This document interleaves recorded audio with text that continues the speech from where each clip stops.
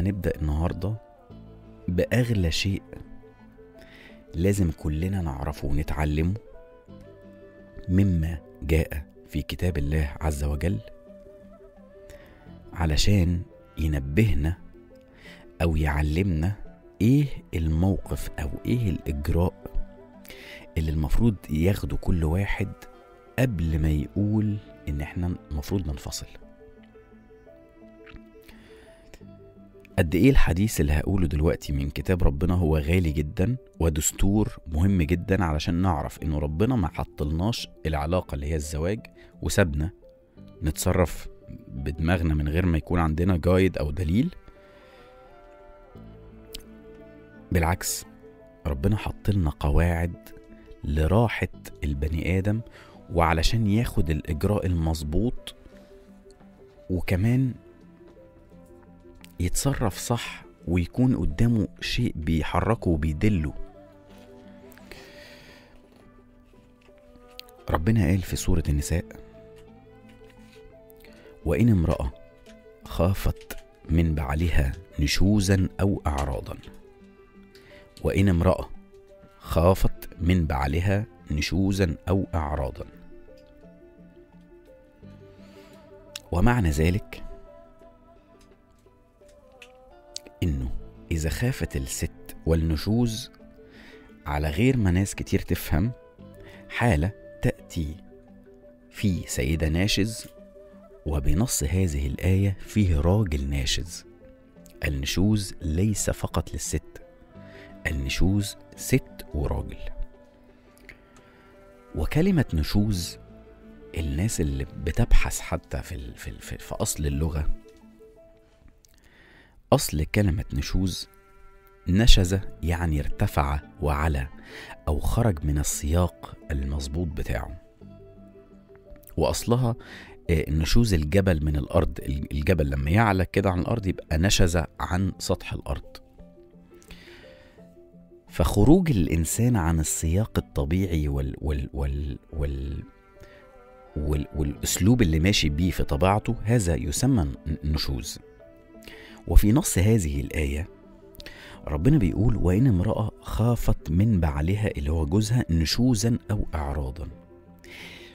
والخوف هنا معناه إنه النشوز أو ال أو أو خروجه عن السياق أو الإعراض اللي هيعمله لسه ما حصلش ولكنها بس خافت إنه يحصل. والآية هنا بتدي قاعدة إلى إنه إحنا مش لازم يحصل النفور بين الأزواج ولكن يكفي إحساس طرف من الطرفين وهو في الآية دي ربنا بيتكلم عن الست بقى مش عن الراجل. في هذه الآية يكفي إحساسها بإنه فيه احتمالية. هو هو ما نشزش ولا حاجة هو ما أعرضش لكنه كده أنا خايفة منه طريقته مش عجباني في شيء غلط. بنص هذه الآية ربنا بيقول لك تنبهي. لما يكون في بوادر الغلط. بوادر الغلط. وهنا التنبه ده يعمل إيه؟ تعالى بقى نشوف ربنا قال لك دليل تعملي إيه لما تحسي احتمالية وجود شيء مش عاجبك إما نشوز أو أعراض. ما بقاش كده بيتعامل معايا بلطف زي الأول. بقى يعني إيه يخش البيت مش عايز يكلمني يقوم رايح فاتح التلفزيون على التمثيلية. أو على الماتش ولا عايز يقعد معايا ولا عايز مش عارف إيه وأجي أحاول أستفزه عشان أتكلم معاه ألاقيه مش مهتم مش عايز. هو ما عملش حاجة فعلية ولكنك خايفة بس. قال لك إيه بقى؟ بسم الله الرحمن الرحيم. من سورة النساء وإن امرأة خافت من بعلها نشوزا أو اعراضا فلا جناح عليهما أن يصلحا بينهما. فلا جناح عليهما أن يصلحا بينهما.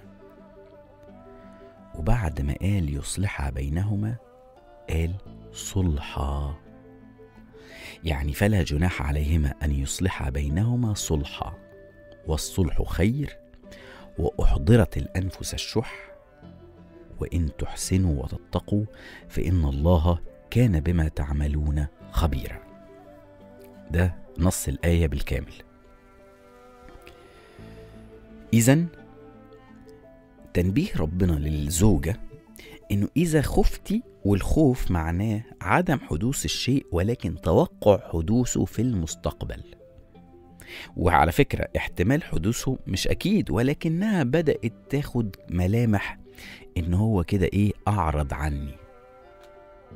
قال لك في هذه الحالة وقبل أن تأتي المشكلة أو قبل إن هي الموضوع يكبر المفروض تعمل وقفة. مش تسيب المواضيع وخلاص لا تعمل وقفة. وقال لك يعني فلا جناح عليهما أن يصلحا بينهما. يعني إيه؟ يعني إنك تيجي هنا توقفي الدنيا ثواني ولكن دي خلي بالك دي فيها سياسة. سياسة إيه؟ سياسة إنه ما, تن... ما تنتظريش إن المشكلة تفضل تكبر تكبر تكبر زي ما كتير من الستات بيعملوا عندنا أزمة كبيرة جدا هو إنه الست دايما لما تحصل المشكلة ويعمل معاها موقف يخذلها فيه أو يزعلها فيه تكبت الموقف جواها وتعديه ولكنه محفور جواها فهي ما ردتش ادت رد فعل. فأصبح قدام الطرف التاني إنه ما حصلش حاجة. فأدى ذلك إلى اعتباره أن شيئا لم يكن. في الوقت اللي هي فيه أخدت موقف وحش جدا جواها والموضوع ما اتقفلش الملف ما اتقفلش جواها ولكنه حصل فيه إيه؟ الملف اتاخد اتحط جوه في ذاكرة عاطفية سلبية جدا هي شايلة وزعلانة ومتضايقة. دفنت الموضوع ولكنه موجود. يجي يحصل موقف تاني. فيعمل معاها موقف على اعتبار إنه أول موقف لكنه بالنسبة لها مش أول موقف لأنك ليك سابقة قبل كده. ولكن هو لا يعلم شيء. فتاخد الموقف وتقوم حطاه وتقول خلاص أنا خلاص أنا هكمل. وبرضه ما تديش أي مؤشر إلى إنه الموضوع اتحفر جوايا وخزنته عندي. ويبدأ المواقف تزيد تزيد تزيد تزيد.